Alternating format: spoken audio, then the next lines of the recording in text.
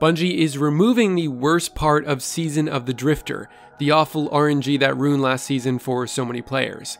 With Season of Opulence, players can grind for exactly what they want, so say goodbye to ridiculous drop rates for most of the loot this time around. Today's blog post shed a ton of light on the Chalice of Opulence and how it aims to eliminate a lot of absurd RNG, and we will also briefly discuss some of the other changes brought up like the new buffs. So let's take a close look at this week at Bungie for Thursday, May 30th.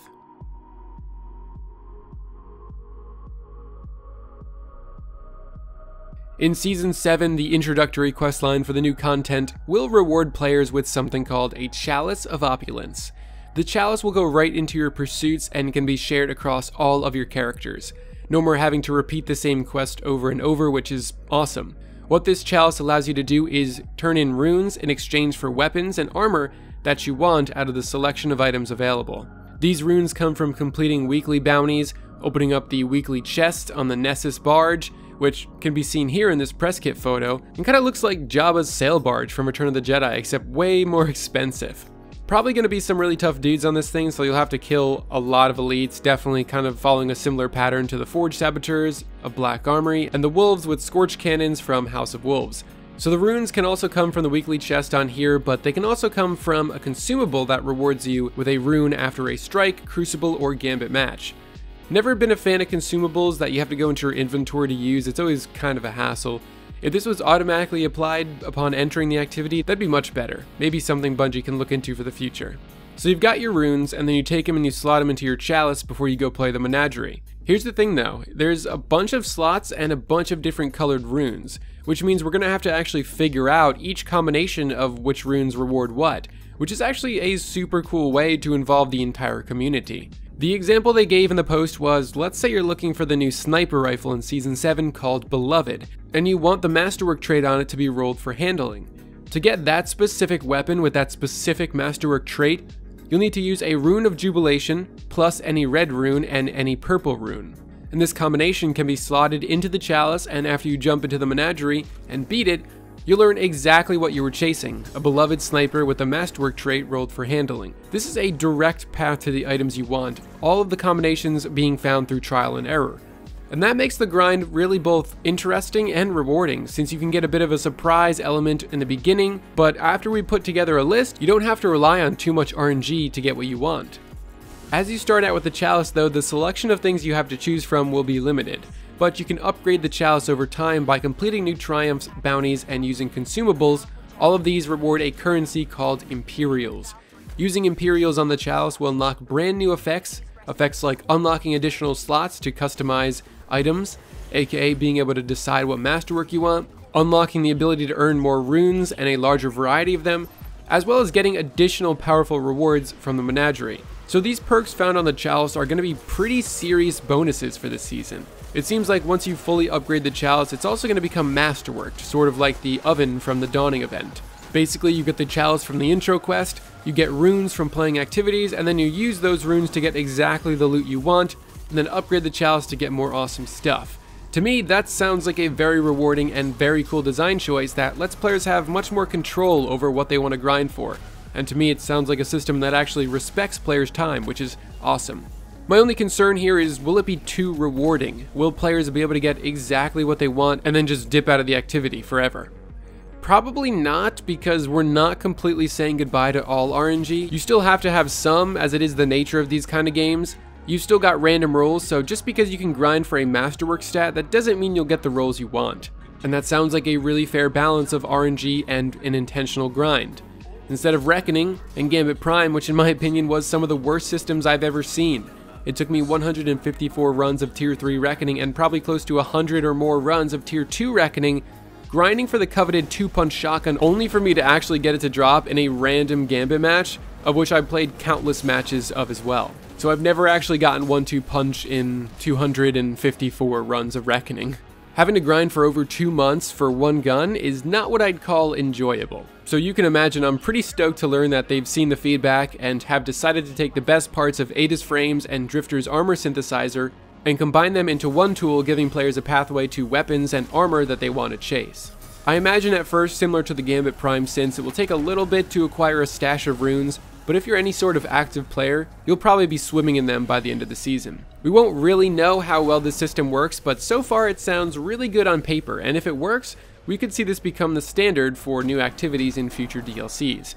The update also covered some buffs. Fusion rifles are getting buffed with an average of 45% damage increase in just PvE. Swords are getting buffed, seeing their max ammo capacity increase to 70, which is awesome. Sturm and Drang are also getting a buff, and they didn't mention it, but Mida Minitool is probably also going to be in there somewhere on the patch notes on Tuesday. Since I did cover the Pinnacle weapons last video, I'll briefly go over some of the extra information we got this week. For the Vanguard Pinnacle weapons, the Wendigo GL3, it's an arc adaptive grenade launcher. The unique perk Explosive Light says picking up an orb of light increases the next grenade's blast radius and damage, and you can hold up to 6 enhanced grenades. The Crucible Pinnacle weapon is the Revoker, a kinetic aggressive sniper rifle, and its unique perk, Reversal of Fortune, is where missing a shot returns the bullet to the magazine after a short duration. The perk can only return one single bullet at a time, and that is a bit disappointing for PvE, but that one round of special ammo could be the difference in PvP. The sniper also comes with a custom low zoom scope and snapshot, which sounds freaking amazing. I love that. To acquire it, you'll need to earn a total of 3,500 glory points, not get up to the rank of 3,500, just get 3,500 total points. And the great thing is, you won't lose progress when losing a match, so this will be the easiest Crucible Pinnacle weapon to get so far. I'm sure hardcore players would prefer some sort of incentive to reach Legend, at least some sort of bonus ornament or something, because reaching 3500 total points is so ridiculously easy that it kinda diminishes the challenge for those dedicated PvPers. The Gambit Pinnacle weapon is a solar precision combat bow called Hush with a unique perk called Archer's Gambit. This perk grants a massive draw speed bonus for a short duration after getting a hipfire precision hit. Definitely going to be one of the best options out there for those of you who like bows, and it sounds like it's a pretty powerful perk that's going to be really fun to master. Now they also talked about how pursuits are changing in Season 7. Instead of the old inventory bucket, they'll now be moved to a place on the director, to the left of the map. From here you have the ability to sort by quest only or bounties only, and the tab also has been expanded from 50 to 63 slots.